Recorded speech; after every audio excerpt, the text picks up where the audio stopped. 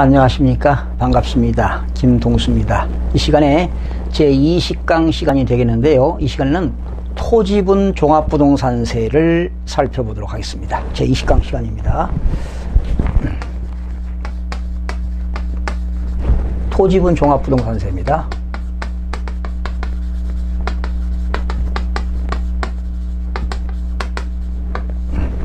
이 토지분 종합부동산세는 두 가지가 있습니다 여러분 저 재산세 배울 때 토지의 분류에는 세 가지가 있었죠. 분리과세 대상 토지, 별도 합산 대상 토지, 종합 합산 대상 토지가 있지요. 그러나 분리과세 대상 토지는 어, 생산성 토지와 사치성 토지인데 종합부동산세 과세 대상이 아닙니다. 그러니까 토지분 종합부동산세는 두 가지가 있습니다. 종합합산 대상 토지,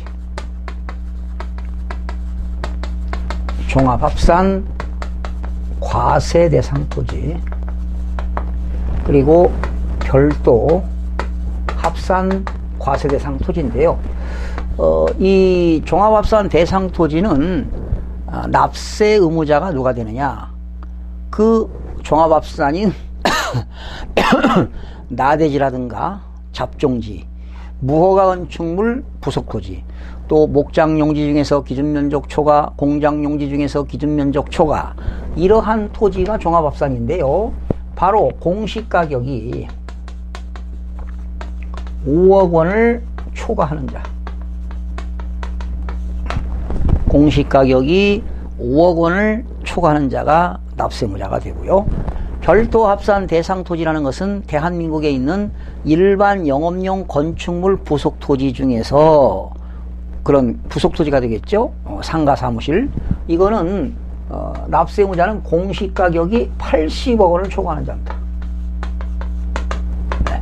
상가 건물의 부속 토지가 80억이 초과될 때 네, 종부세 납세 의무자가 됩니다. 그러나 상가 건축물 자체는 재산세만 내는 거지 예, 종부세는 아니지요. 상가 건물의 부속 토지만 바로 별도 합산이 되는 겁니다. 그러나 상가 건물에도 말이죠. 기준 면적을 초과한다면 그거는 종합 합산이 되겠습니다. 그래서 그 여러분 교재 보시니까 음, 2항 보니까 납세무자가 나오잖아요. 어, 종합 합산은 5억 원을 초과하는 자, 별도 합산은 80억이 초과되는 자 이렇게 되겠습니다.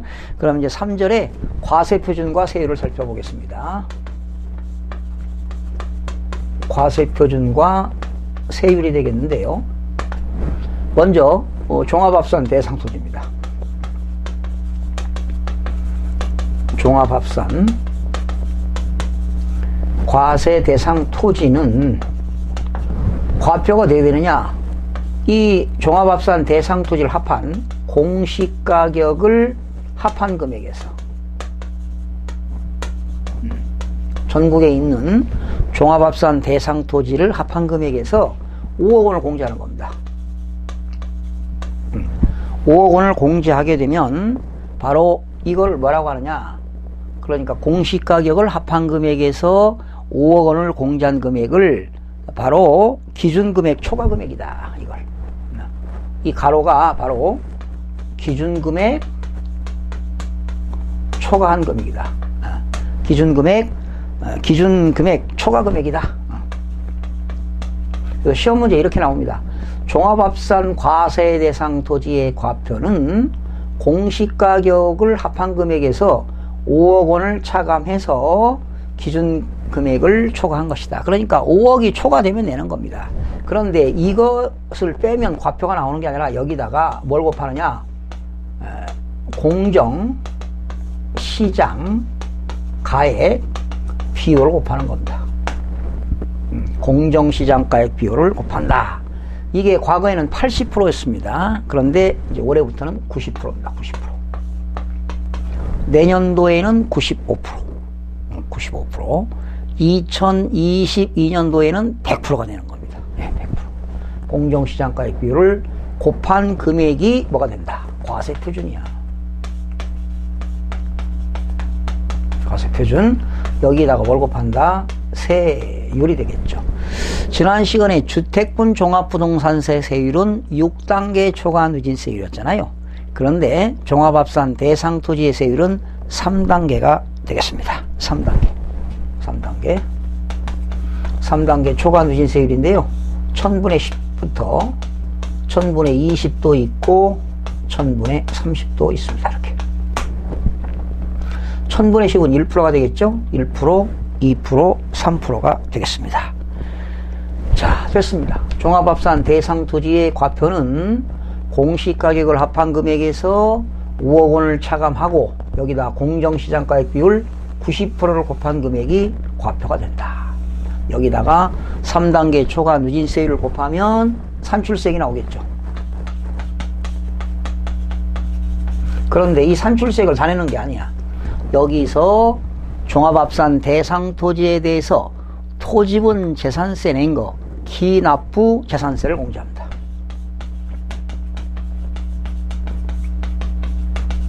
기납부 재산세를 공제하게 되면은 납부 세액이 나옵니다. 납부 세액이 나온다. 자, 이렇게 해서 종합합산 대상 토지를 살펴봤고요. 자, 그러면 넘겨보시면 그 종합합산 대상 토지에 어, 세율이 과표가 과표는 암기하지 마세요. 15억 어, 원 이하일 때는 1000분의 10. 15억 원 초과 45억 원 이하일 때는 1000분의 20. 과표가 45억을 초과하게 되면은 1000분의 30이 되겠습니다. 그러니까 종합합산 대상 토지의 세율은 1000분의 10, 1000분의 20, 1000분의 30. 3단계 초과 누진세율을 적용한다. 이렇게 하시면 되겠고요. 그 밑에 3번 보니까 토지분 재산세를 공제한다 이겁니다. 기납부 재산세를 공제하게 되면 산출세액에서 기납부 어, 재산세를 공제하게 되면 납부세액이 나온다. 자, 그럼 이제 별도 합산으로 넘어갑니다. 별도 합산.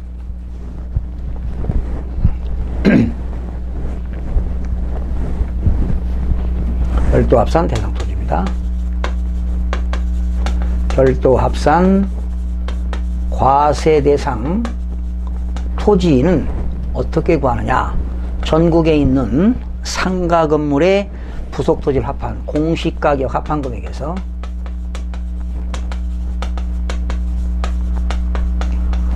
얼마를 공제하느냐? 80억 원을 공제합니다.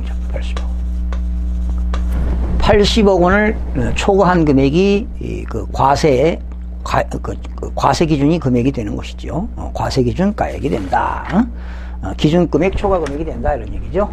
그러니까 공시가격 합한 금액에서 80억 원을 공제해 가지고 여기다가 뭘 곱하느냐? 공정시장 가액 비율 90% 곱합니다. 공정시장 가액 비율 90% 곱하면 뭐가 나온다? 과세 표준이 나옵니다. 여기다 뭘 곱합니까? 이제 다시 세율을 곱하는 겁니다. 역시 세율은 종합하고 똑같이 3단계를 적용합니다. 3단계 초과 누진세율을 적용하는데 세율은요 1000분의 5 1000분의 6 1000분의 7 그러니까 0.5%부터 0.7%까지 적용합니다. 그럼 뭐가 나와요? 선출세액이 나와요. 산출세액이 나온다. 여기서 뭘 빼느냐? 기납부한 재산세를 빼게 되면은 뭐가 나온다? 납부세액이 나온다. 이렇게 되는 겁니다. 똑같아요. 음. 그리고 공정시장가액 비율 음, 거기 90% 곱하고요. 어, 제일 밑에 보니까 3단계 초과 누진세율. 여러분 아무래도 말이죠. 종합합산 대상 토지보다 별도 합산 대상 토지가 상가 건물의 부속토지이기 때문에 좀 비쌉니다. 화표가 비싸요. 200억 이하일 때는 1000분의 5가 되겠고 200억에서 초과 400억 이하는 1000분의 6이 되겠고 400억 초과는 1000분의 7이 됩니다. 그래서 역시 별도 합산 대상 토지도 3단계 초과 누진세율을 적용한다. 이 정도 하시면 되겠고요. 그리고 이제 여기서 어, 기납부 재산세 공제하는 게 나왔죠, 여러분. 279쪽에 토지분 재산세액을 공제한다 나왔습니다. 자, 그 다음에 세 번째는 세부담의 상한입니다.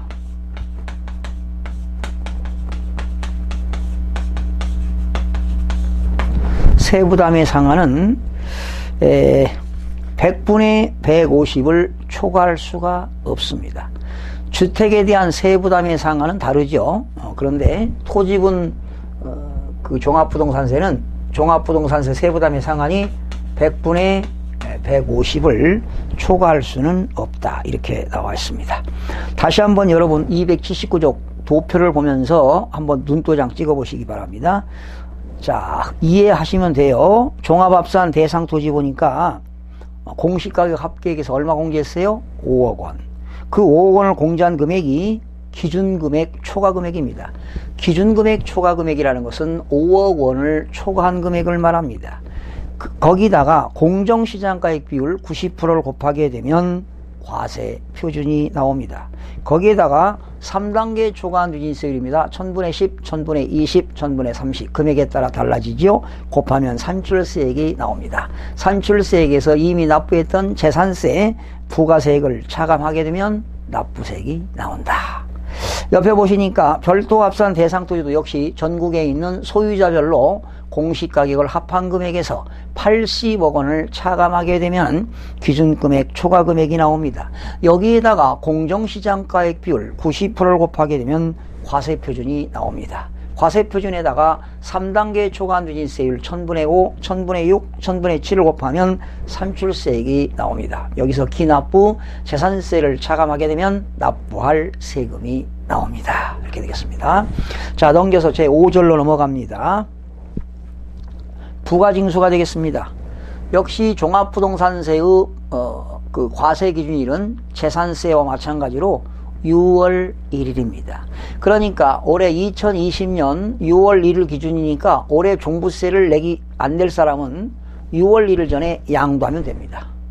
6월 1일 전에 팔면 됩니다. 6월 1일 현재 사실상 소유자가 납세의무자가 되는 겁니다. 그래서 그러면 어, 종합부동산세 과세권자는 누구냐? 관할세무서지요. 어, 납세지 관할세무서가 되는데 그 납세지는 어, 거주자냐 비거주자냐에 따라 달라집니다. 네. 거주자는 어디가 될까요? 거주자는 국내 주소를 둔 사람 아니겠습니까? 거주자는 어, 주민등록법에 의한 주소지가 되겠습니다. 주소지. 네? 거기 나왔죠? 1항. 거주자에 대한 종합부동산세 납세 의무자는 거주지다. 거, 아, 주소지다. 주소지.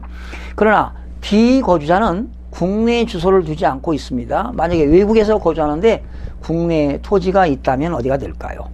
국내 그 뭐 소재지. 만약에 어, 사업을 한다.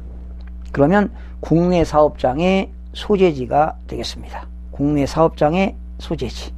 국내 사업장의 소재지.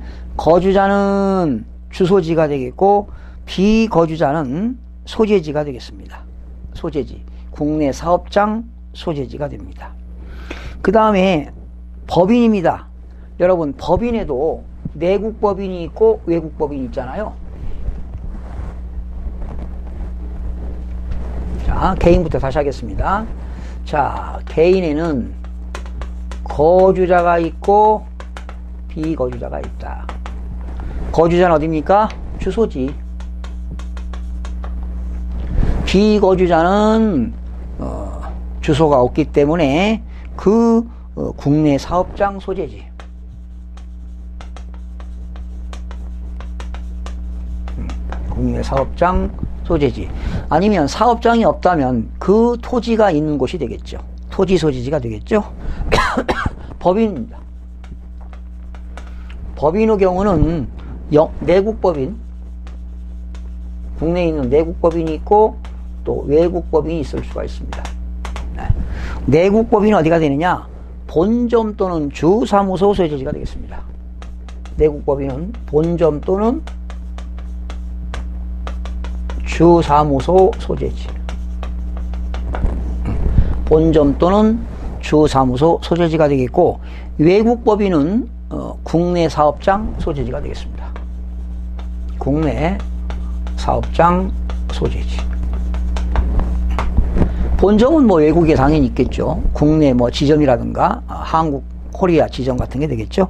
국내 사업장 소재지가 된다. 뭐 이 정도 알면 되겠습니다. 자, 부가징수입니다. 어떻게 부과할 거냐? 부과 징수는 원칙이 있고 외외가 있는데요. 원칙은 과세권자가 고지서를 발부하여 징수하는 정부 부과입니다. 정부 부과과세.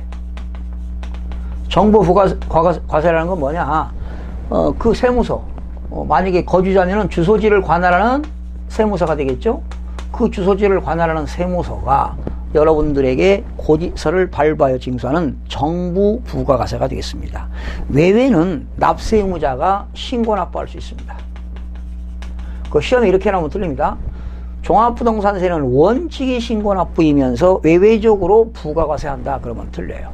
원칙은 정부가 납세 의무자들에게 고지서를 발부하여 징수하고 외회적으로 신고 납부할 수 있다 이렇게 하시면 되겠습니다. 그러면 정부 부가가세 할 때는 아, 그 주소지 관할 세무서장이 납세 의무자들에게 고지서를 납부 그 납부 기간 개시일이 12월 1일부터 15일까지가 납부 기간인데 5일 전까지 고지하도록 되어 있으니까 아마 11월 25일 경에 고지서가 나오게 됩니다. 거기 나왔죠? 어, 281쪽이 둘째 줄 납부 기간 출처요. 개시일 5일 전까지 발부하여야 한다. 쓰세요. 재산세도 동일합니다. 재산세와 종합부동산세는 납부 개시일 5일 전까지 발부하도록 되어 있습니다. 그리고 외외는 신고 납부지요. 음, 스스로 여러분들이 12월 1일부터 12월 15일까지 관할 세무서장한테 신고하면 되겠습니다. 만약에 신고를 하는데 적게 신고했다면 과소신고, 가산세도 분 참고로 하시면 되겠고요. 그러면 원칙은 정부 부가가세가 되기 때문에 여러분들한테 고지서가 나옵니다. 언제까지 내라? 12월 1일부터 12월 15일까지 내라 하고 납기 내 고지서가 나옵니다. 그런데 11월 12월 15일까지 납부를 안 하게 되면은 3%의 가산금이 붙습니다. 거기 나왔죠? 3%의 가산금을 징수한다. 그러면 납부 기한일로부터 1개월이 경과됐음에도 불구하고 납부하지 않으면 중가산금이 붙습니다. 넘겨보시면 나왔어요. 1개월이 지날 때마다 10만 분의 75입니다. 중가상금은 중가상금은 10만 분의 75 10만 분의 75는 0.75가 됩니다. 0.75 0.75%가 되겠죠. 10만 분의 75의 중가상금이 붙는데 이 중가상금의 그 징수기간 한도는 60개월을 초과하지 않습니다. 60개월을 초과하지 않고요. 그리고 어, 종합부동산세 체납된 국세가 100만 원 미만일 때 줄쳐요. 100만 원 미만. 체납된 국세가 100만 원 미만일 때는 100만원 미만 시에는 중가상금을 적용하지 아니한다. 지방세는 얼마죠? 50만원 미만이 되겠죠. 100만원 미만일 때는 중가상금을 적용하지 아니한다. 기억하시면 되겠고요. 참고나 무신고 가산세 나왔죠? 만약에 여러분이 신고하지 않았다. 음, 신고하지 않았다. 무신고. 이 종합부동산세는 원칙이 정부 부가세고 외외가 신고 납부인데 신고 납부를 하지 않았다. 그러면 가산세가 있는데요. 무신고 가산세는 적용하지 않고요. 다만 과소신고 가산세 붙습니다. 그리고 납부 기한까지 납부하지 않을 때는 납부 불성실 가산세가 붙습니다. 참고로 하시기 바랍니다. 거기 나왔죠. 신고 기간 이내 신고하지 아니한 경우에는 납세 고지서에 납부 기한까지 납부하지 아니한 것으로 보아 가상금을 적용한다. 따라서 무신고 가산세는 적용하지 아니한다. 다만 신고 기간 내 과소신고한 경우는 과소신고 가산세 그리고 신고했는데 납부를 하지 않았다. 납부 불성실 가산세가 붙지 무신고 가산세는 없다라는 것 알아두시면 되겠어요. 6번입니다. 종합부동산세 분할 납부입니다. 어, 일정, 어, 일정 아, 납부 기간 내 내고 일정 금액 초과되는 것은 나눠서 낸다 이런 얘기입니다. 어, 종합부동산세 분납액은요 250만 원을 초과할 때 재산세와 똑같습니다. 예전에는 500만 원이었는데 법이 개정됐습니다. 250만 원을 초과하는 경우에는 어, 250만 원 초과 금액에 대해서 6개월 이내에 분납할 수 있다. 6개월입니다. 6개월 이내에 분납할 수 있다. 자, 그러면 이번에 보니까 분납액은 어떻게 되느냐? 250만 원 초과 500만 원을 이하일 때는 아, 만약에 400만 원 나왔다. 그러면 250만 원 초과 금액이 얼마입니까? 250만 원을 차감한 금액이니까 150만 원인가요? 그걸 분납할 수 있다는 겁니다. 거기 250만 원을 초과할 때는 250만 원을 차감한 금액 250만 원 빼고 초과 금액을 낸다 이런 얘기 있고요. 그리고 납부할 세금이 500만 원을 초과할 때는 만약에 1000만 원 나왔다. 그러면 100분의 50입니다. 반절은 어, 그러니까 500만 원이 초과되면 반절은 납부기 한 내 내고 반절은 6개월 이내에 분납하면 됩니다. 그러니까 반절 낸다는 겁니다. 다시요. 250만 원을 초과할 때는 그 250만 원을 차감한 금액, 초과된 금액을 6개월 이내에 분납할 수 있고 500만 원을 초과하는 경우는 100분의 50 이하 반절이죠. 반절은 납부기 한내 내고 반절은 6개월 이내에 납부하면 되겠습니다. 자, 그리고 3번. 분할 납부 신청이죠. 네, 종합부동산세를 분할 납부하고자 하는 사람은 납부기간 내, 납부기간 내는 12월 1일부터 12월 15일까지니까 신청서를 제출하면 됩니다. 그러면 신청서를 제출하게 되면은 어, 납부기간 내낼 고지서와 또 6개월 이내에 고, 납부할 고지서를 수정고지 발부하게 됩니다. 두 장 준다는 것이죠. 납부기간 내내 납부할 고지서하고 6개월 이내에 납부할 고지서를 준다 하시면 되겠고요. 7번입니다. 7번. 음, 거기 참고란에 잠깐 보실까요? 농어촌 특별세 분납입니다. 농어촌 특별세는 종합부동산세 분납 금액의 비율에 따라 종합부동산세 분납에 따라 분납할 수 있다. 자, 종합부동산세 낼 때는 농어촌 특별세가 20% 붙습니다. 그러니까 만약에 종합부동산세가 천만 원이다 그러면 농어촌 특별세가 20%니까 얼마입니까? 200만 원이 붙기 때문에 가치 계산해서 할 수 있습니다. 7번 종합부동산세 납부할 때는 100분의 20에 농어촌 특별세가 부과된다. 여러분 농어촌 특별세는 국세죠. 국세이면서 특정 목적이니까 목적세입니다. 그러면서 어디에 들어갈까요? 부가세 들어가죠. 스세보다. 국세이면서 목적세이면서 부가세이다. 이렇게 알면 되겠고요. 자, 8번. 결정과 경정. 이 말은 무슨 말이냐? 자, 과세관청이 여러분들에게 고지서를 발부해서 발부했는데 과세관청이 잘못 고지한 거예요. 과세 대상이 누락이 되었다. 또는 위법 또는 세 가지입니다. 과세 대상 누락, 위법, 착오 등으로 인하여 종합부동산세를 과세관청이 즉 세무서가 새로 부과할 필요가 있을 때는 부과할 세액을 뭐하여 경정할 경우에는 다시 부가 징수할 수 있다. 그러니까 수정고지할 수 있다는 것이죠. 어, 이것을 우리는 어, 결정과 경정이라고 한다. 경정이라고 한다. 음, 다시 부가 징수할 수 있다라는 겁니다. 또 어, 관할 세무서장이 말이죠. 어, 만약에 여러분들이 신고 납부를 했는데 관할 세무서장이 보니까 뭐가 됐어요? 어, 신고 내용에 탄류가 있었다는 거지. 오류가 있었다는 거지. 그럴 때는 과세관청이 다시 과세표준과 세액을 산출해서 경정하겠다는 것입니다. 또한 결정과 과세관청이 수정고지에서 경정했는데 또 탄류가 있거나 잘못된 오류가 발견했을 때는 다시 뭐 하겠다는 겁니까? 경정해서 어, 다시 재경정한다 이런 얘기입니까? 그러니까 경정을 했는데 거기에도 다시 잘못된 게 있으면 재경정하겠다라는 겁니다. 뭐 중요한 거 별로 없습니다. 아홉 번째 비과세입니다. 과세하지 않겠다는 것이죠. 재산세가 비과세면 종합부동산세도 비과세입니다. 여러분 재산세에서 이런 거 배웠죠. 도로, 토지 중에 도로, 하천, 제방, 국어, 유지, 묘지 비과세한다. 그러면 재산세가 비과세면 종합부동산세도 비과세가 되겠습니다. 중요한 거 없습니다. 자, 그러면 어, 문제를 한번 풀어보겠습니다. 네, 문제를 한 네 문제 정도 풀어보겠습니다. 여러분 교재 285쪽 1번 2019년 귀속 종합부동산세에 관한 설명이다 틀린 것 지난 29회 때 출제가 됐습니다. 잘 보세요.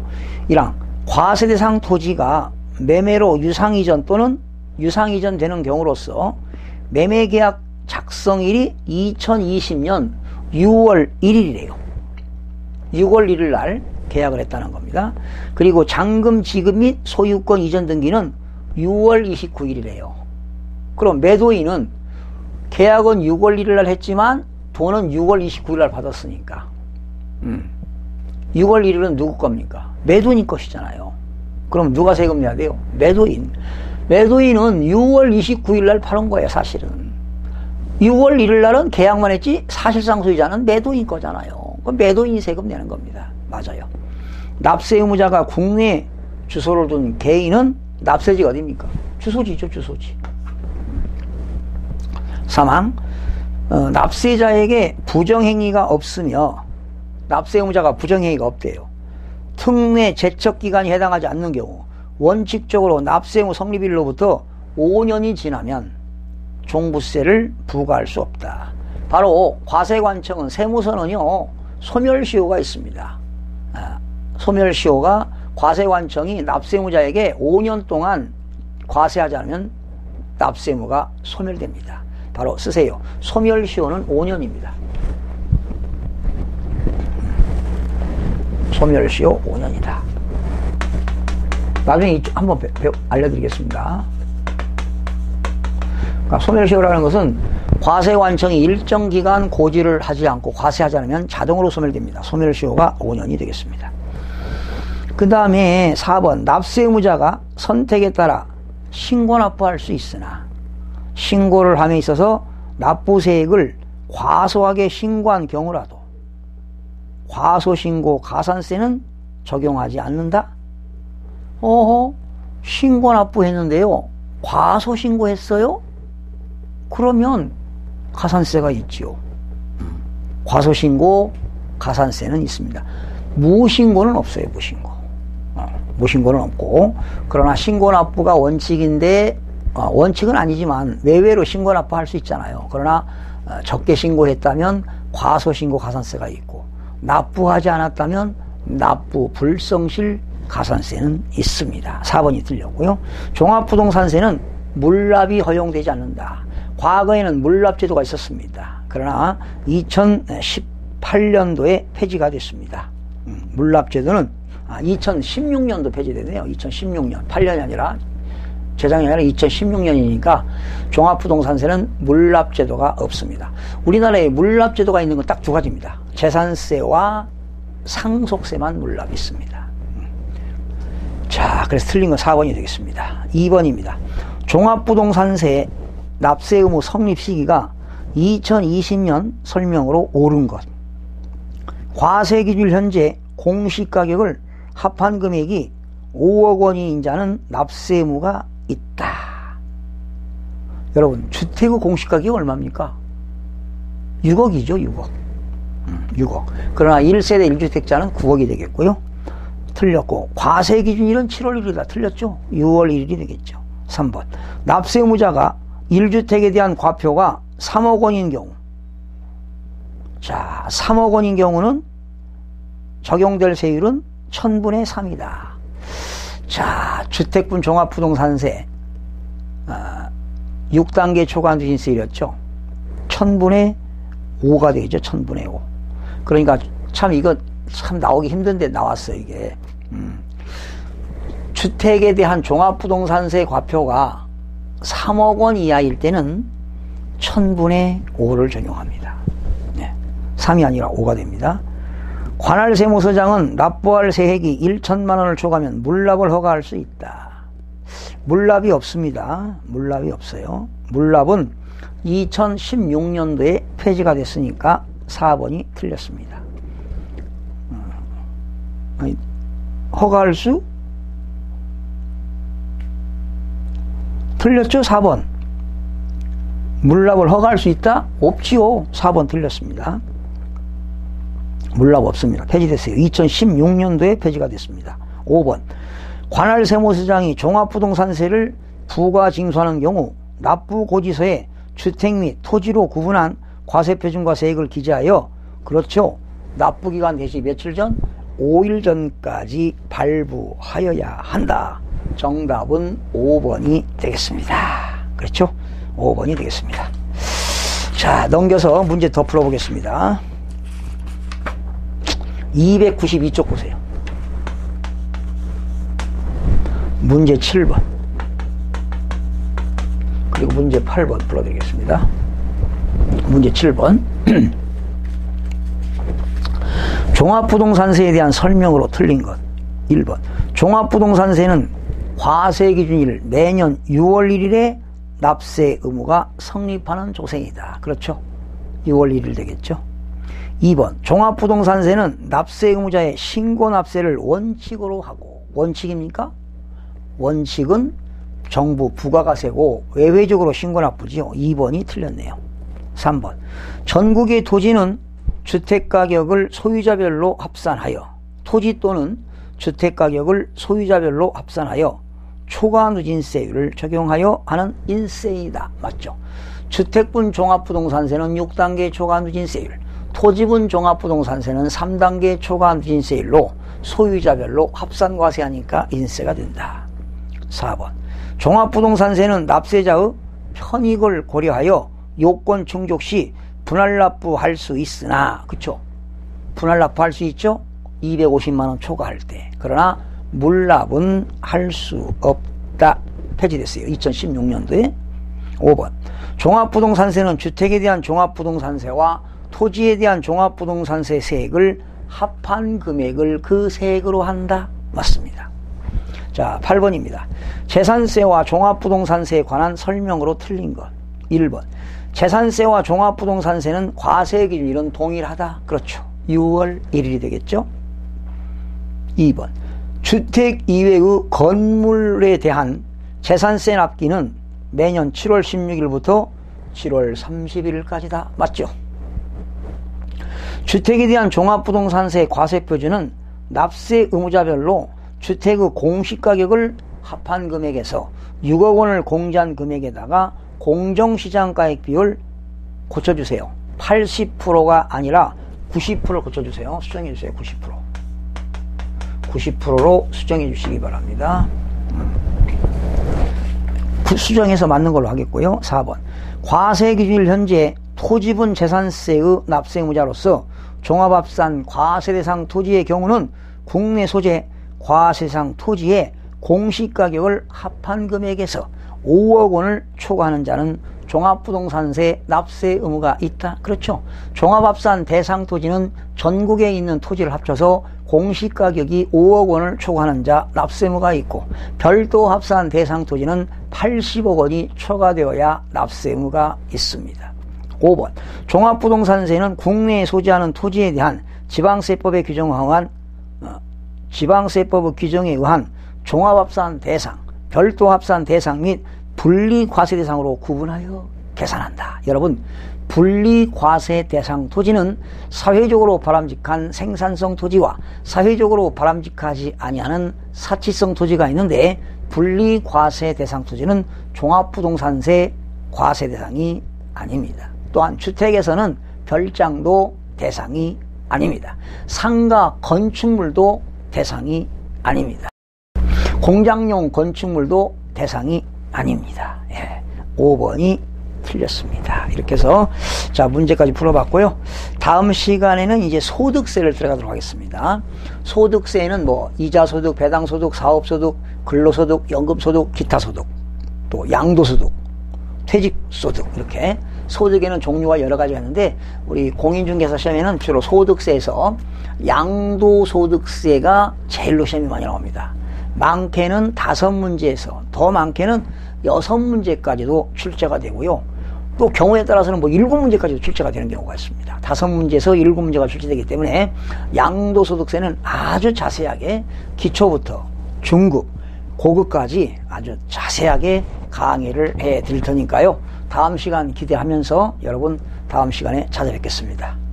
여러분 요즘 어, 건강에 좀 유의하시기 바랍니다. 참 국민들이 말이죠. 어, 몸과 마음이 상당히 무겁습니다. 여러분들 힘내시기 바라고요. 건강관리 잘 하시기 바랍니다. 다음 시간에 찾아뵙겠습니다.